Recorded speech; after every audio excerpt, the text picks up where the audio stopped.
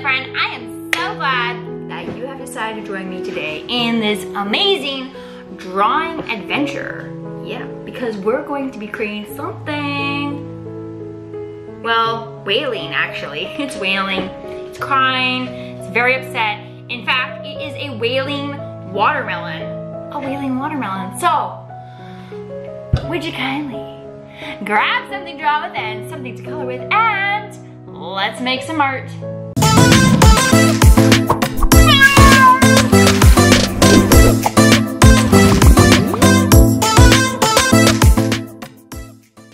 Episode is brought to you by artastickids.com. If you're a parent, guardian, homeschool family, or a classroom teacher looking for art lessons and resources, begin your journey by finding free art lessons, tips, advice, and more at artastickids.com. All right. We are going to be creating a wailing watermelon. Here we go, wailing watermelon. I need a marker. Hmm, there's one. Okay, grab something to draw with. We are going to be drawing a wailing watermelon, one curving line, and another. We're gonna start off with the eyes today. Two big curving lines for the eyes. Curve underneath them.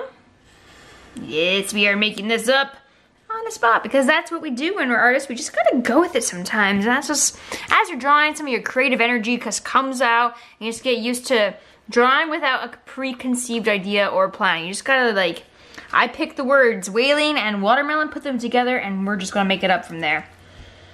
On the spot, right in front of you guys. This is how magic happens.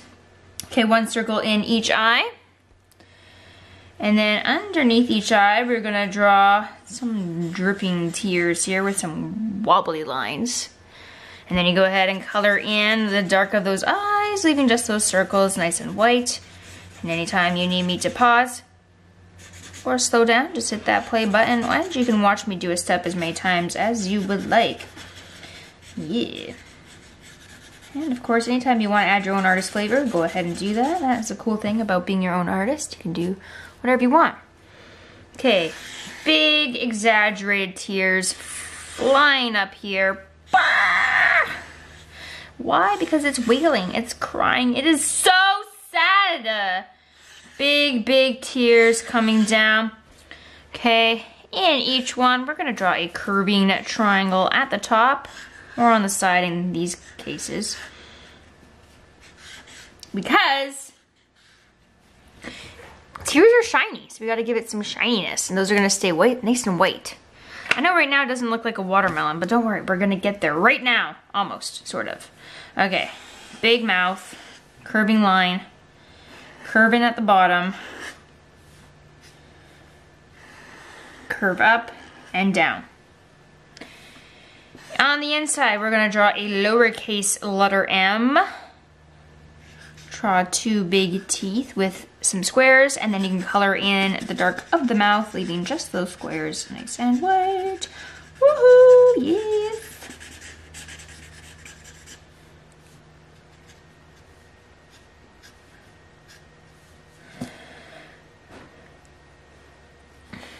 Okay, now, we're gonna do the watermelon part now. So we're gonna draw a big, giant, curving line.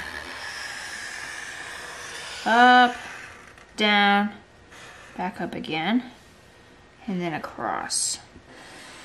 I wanted these tears in front of, like coming off the face, that's why we drew them first versus um, later. Now maybe on the ground here, instead of a shadow, we're gonna have a giant puddle of tears because it's been crying for so long. we'll add some shiny spots. Woo! Okay, perfect, lovely, wonderful. What was I doing? Watermelon! I remembered. Guys, I got lost. I'm back. Doesn't that ever happen to you where you're just like, okay, where am I? What was I doing? I was doing something important. It's like when you're hmm, disappear into your own imagination for a second, or for more than a second. Sometimes many, many minutes. And then I show up again. I'm like, whoa, where did I go? Okay, two lines curving along the edge. So the dark rind and the lighter whitish part, and then we'll have, this will be like the red fleshy part of the watermelon. So in this red part here, we're gonna draw our watermelon seeds wherever you like it. Mine are organized and they're in a line, so they're linear. I imagine that fruit and veggies grow mathematically.